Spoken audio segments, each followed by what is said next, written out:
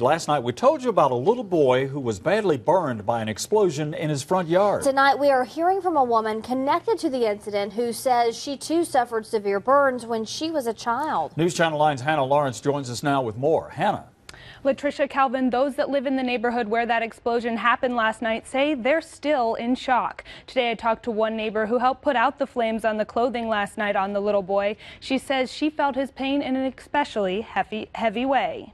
Stop, drop, and roll. We've all heard it, but Stephanie Merritt says she was in shock as she shouted it at her neighbor. And when I looked outside, the little boy was like engulfed in flames and he uh-huh. took off running uh-huh. behind the house uh-huh. and I started screaming, make him drop and roll, make him drop and roll. Merritt says when she was a child, 90% of her body was badly burned in a grease fire, and those memories came back yesterday.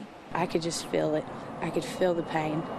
And it's a pain that you just can't describe. Chattanooga Fire spokesman Bruce Garner says the nine year old boy has second and third degree burns on his legs. He's now at a burn unit in Augusta, Georgia for additional care. Burn injuries are particularly bad, uh, especially for children because they're still growing. Which is exactly what Merritt says she experienced. I had a, my head wrapped. I had to wear a, a straight vest to cover my arm. I'd have um, skin grafts done. Merritt says this isn't the first time she's seen her neighbors burning materials outside. They burn their little trash right there. They're just little different cultures than we are, and they have their own way of doing things, and we just accept it. Garner says this incident happened while the fire department was trying to get the word out about safety during Burn Awareness Week. It illustrates the point for us, whether you're a child or whether you're an adult, you should never use gasoline around fire, period. But really for any purpose.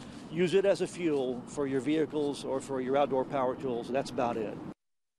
Merritt tells me her son plays with that little boy almost every day. She says the family that has lived across the street for years and they do have other kids as well.